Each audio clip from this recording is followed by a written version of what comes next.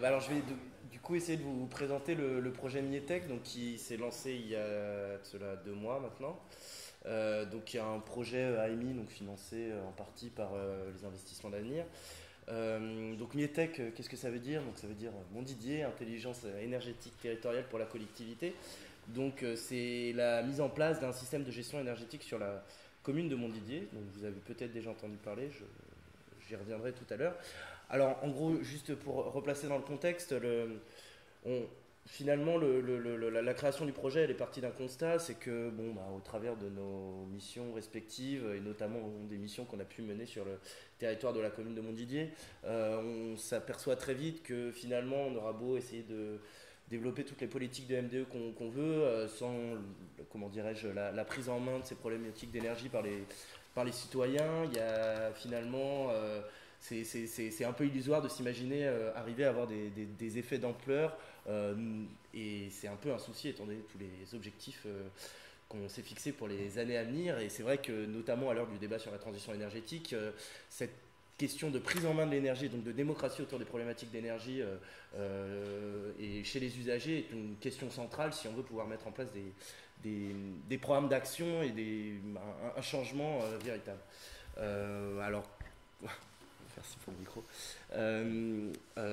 du coup, au moment bien sûr de l'arrivée de tous ces moyens de communication et d'information, ça, nous a, ça nous a semblé être une chance, une grande chance de comment d'essayer de mettre en place des politiques, euh, euh, comment d'animation territoriale autour de l'énergie qui permettent que les citoyens appréhendent au mieux le, sujet et se fondent dedans euh, et s'investissent au maximum pour en tirer, en tirer les plus grands bénéfices. Alors, à partir de ce constat, on, a construit un projet qui se, finalement se,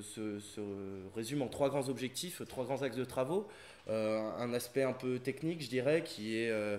je ne vais pas trop développer aujourd'hui, mais euh, qui, est un outil indispensable à la mise en place du projet métier, que c'est finalement le, développement d'une intelligence territoriale et la mise en place euh, d'équipements euh, communiquant sur la zone et la mise en place finalement d'un système de gestion énergétique qui met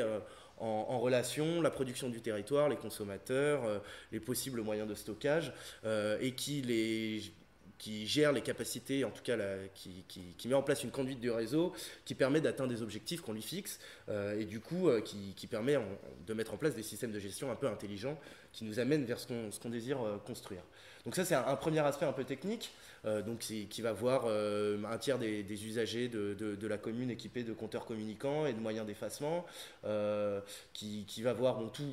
toute la construction d'une architecture d'un système de gestion énergétique. Par ailleurs, l'idée, c'est d'associer ce système de gestion à, la création d'un réel outil d'animation euh, innovant et euh, qui permet euh, aux citoyens justement de, prendre en main ces politiques énergétiques et qui puissent, comment dirais-je, transmettre au, plus, au mieux les programmes de MDE que la, que commune souhaite mettre en place pardon, euh, sur le territoire. Alors la création de cet outil d'animation, ça va bien entendu s'appuyer sur euh, à la fois bah, les outils techniques qui seront mis en place et les outils techniques qui nous permettent d'amener les smart grids. On pense euh, tous à ce qui se développe un peu à droite à gauche, des, plateformes informatiques où en gros un site web où chacun peut aller consulter ses consommations, consulter les consommations de sa commune, de son quartier, etc. Donc tout ça, c'est une des parties, mais il y a, y a, vraiment l'idée d'animation territoriale euh, autour des politiques énergétiques, et donc c'est aussi s'appuyer euh, ben, sur euh, les compétences de la régie, j'aurai le temps d'y revenir, euh, le, comment dirais-je, pardon, les moyens de la collectivité, en l'occurrence de la commune de Montdidier, pour mettre en place des stratégies de communication. Donc c'est vraiment un outil global d'animation territoriale autour des problématiques d'énergie. L'idée, une fois qu'on aura construit ces deux choses-là, étant de, de, mettre en place sur le territoire de la régie, on a la chance d'avoir une régie de distribution, donc on peut se permettre quelques, de tester quelque chose, quelques petites choses, euh, de mettre en place des modes de gestion de, des, équipements de modulation qui sont sur, le territoire, euh, qui permettent d'optimiser les gains pour la collectivité et non d'optimiser les gains pour certains acteurs du réseau. Euh, l'idée, une fois que ces gains étant optimisés, étant donné qu'ils sont en grande partie centralisés entre les mains de la régie, et l'idée étant de les rétribuer, de, rétribuer les différents acteurs de manière un peu, comment dirais-je, euh, équitable en fonction de, leur, euh, de, l'investissement qu'ils ont mis dans, le, dans, la gestion énergétique du territoire. Donc clairement, l'originalité de, de la démarche, c'est pas tant euh, euh, le, développement des, outils techniques, même si bon, on en sera fier, j'espère, une fois qu'ils seront développés, mais c'est plutôt l'idée de, développer des outils techniques et que ça soit pas une fin en soi, que ça soit vraiment des, des outils justement euh, pour mettre en place une stratégie d'animation territoriale et mettre en place une stratégie de MDE réellement efficace, pris en main par les citoyens et dirigée par la collectivité. Alors, euh, Montdidier, on n'a pas choisi ce, territoire par, hasard, euh, forcément. Alors, euh, je ne sais pas si vous en avez déjà entendu parler, mais ça fait quelques années que la, commune essaye de, comment dirais-je, de, lancer des programmes de MDE un peu sur tous les fronts. ça a commencé donc il y a une dizaine d'années, en 2003, par un début d'étude de potentiel MDE qui a ouvert tout un tas de pistes euh, de réflexion et qui a euh, du coup euh, ouvert tout un tas de portes à, la mairie et à la régie, qui s'est soldé par tout un tas d'actions, que ce soit des actions de réhabilitation ou des actions de, de mise en place de moyens de production locaux, donc un réseau de chaleur bois, je vais, euh, pardon, euh, un, parc éolien, un parc photovoltaïque, puis après, comme je disais, des, réhabilitations, bon, la, la, comment la montée en compétences notamment de, la régie et, des acteurs locaux pour l'accompagnement des, citoyens. Enfin, c'est vraiment un, territoire qui, depuis dix ans, a, comment dirais-je, a, évolué et, nous, offre un terrain d'expérimentation un peu idéal, tout en sachant, comme j'ai déjà eu l'occasion de le, dire que la distribution et la fourniture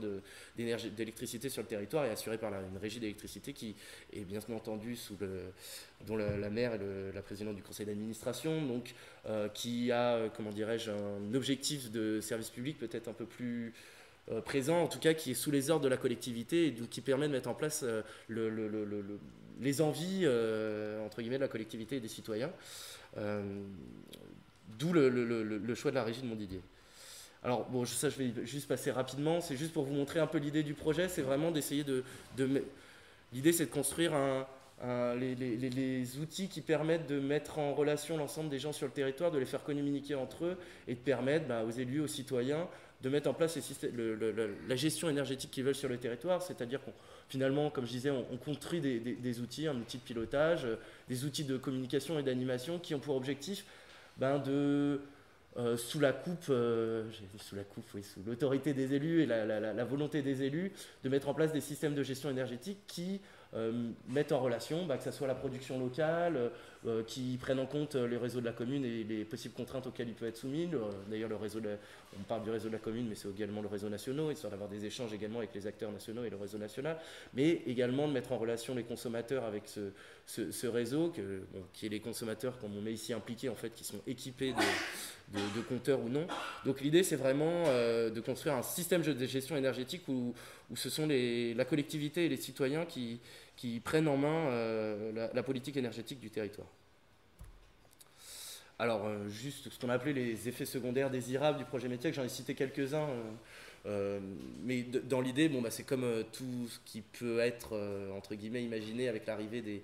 compteurs communicants et de ce qu'on appelle les réseaux intelligents, c'est-à-dire